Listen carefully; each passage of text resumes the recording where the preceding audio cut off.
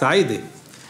حزورة نهاية الأسبوع اللي بنعرضها على مشاهدينا الكرام هي التالية القمح مسرطن أو مش مسرطن؟ بالحقيقة في جوابين على هيدي الحزورة. الجواب الأول هو من وزير الصحة وائل أبو فعور اللي بيقول إنه القمح مسرطن. هذه مش مسألة عابرة ولا مسألة سهلة إنه يطلع في بعينات القمح اللي عم توصل يعني عم ياكلها كل المواطنين اللبنانيين بدون استثناء في كل المناطق يطلع فيها هاي النسبة من الأوكراتوكسين والنسبة عالية.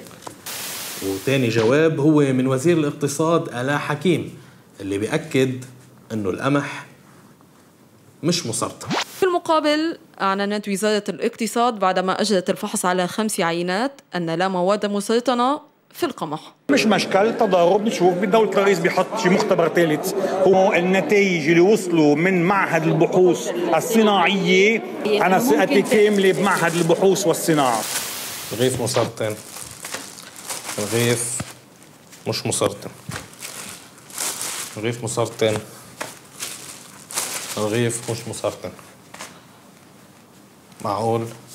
عم نحكي عن وزيرين بنفس الحكومة. واثنيناتهم كل واحد منهم أخذ عينات من نفس القمحات اللي موجودين على المرفأ وعمل لهم فحوصات وطلع معهم نتائج عكسية.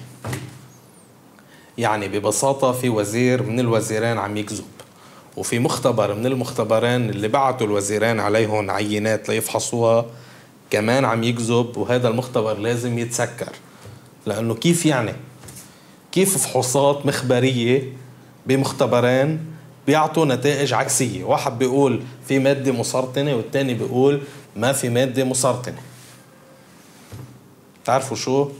هذا الشيء ذكرني بنكتة مشهورة عن اثنين كانوا ماشيين على الطريق ولقوا قطعة آه، براز بشري بلا مؤاخذة على الأرض. قال له أول واحد آه، هيدي براز بشري. قال له الثاني لا لا هيدي منا براز بشري. قال لهم بلا بلا هيدي براز بشري. لا لا لا. منا براز بشري. قاموا آخر شيء حتى يفضوا الخلاف اتفقوا أنه يدوقوها. داقوها. اثنيناتهم طلعوا ببعض. قام بلا. براز بشري. منيح اللي دقناها وما دعسنا عليها. هيك صاير فينا.